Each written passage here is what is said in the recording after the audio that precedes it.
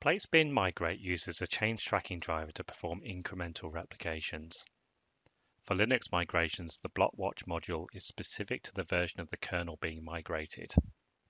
In this video, I will walk you through the process of compiling a custom driver, which you'll need to do if PlateSpin doesn't have one built in.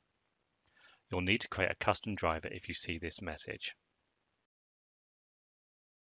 A knowledge base article contains the instructions for creating a custom BlockWatch driver. The simplest way to find it is to search for PlateSpin BlockWatch.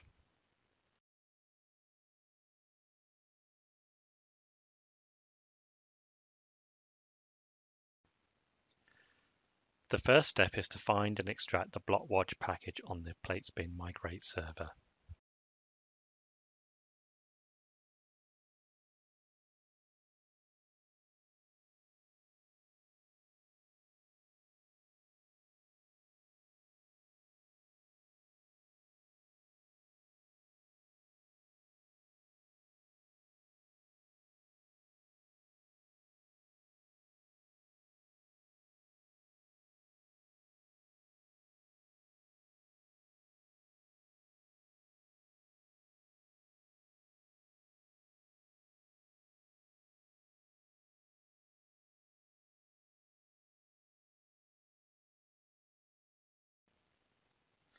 Next, copy the source files to a Linux machine with the kernel version you are compiling the driver for.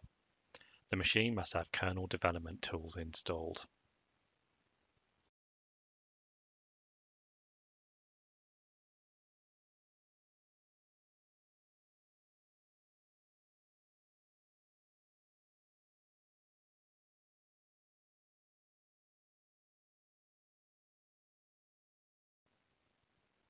Now run the make command to compile the BlockWatch driver.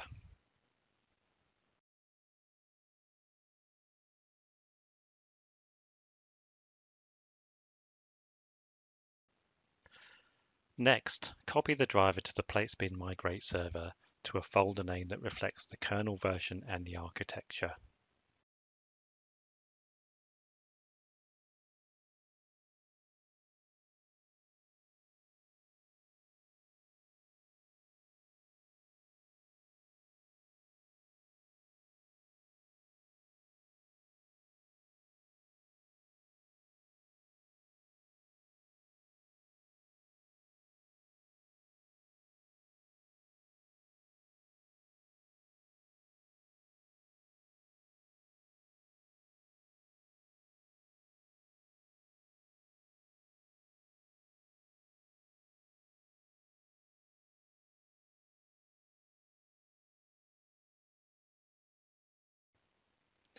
Now rezip all the drivers and rename the file back to one.package and replace the original file in the packages directory.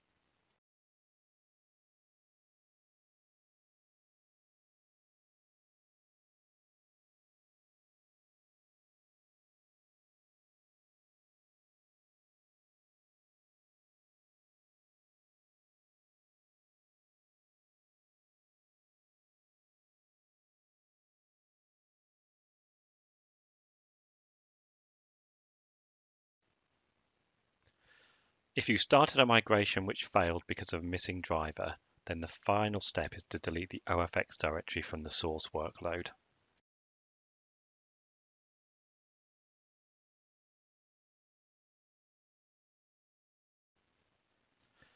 You can now restart the replication or configure the migration job.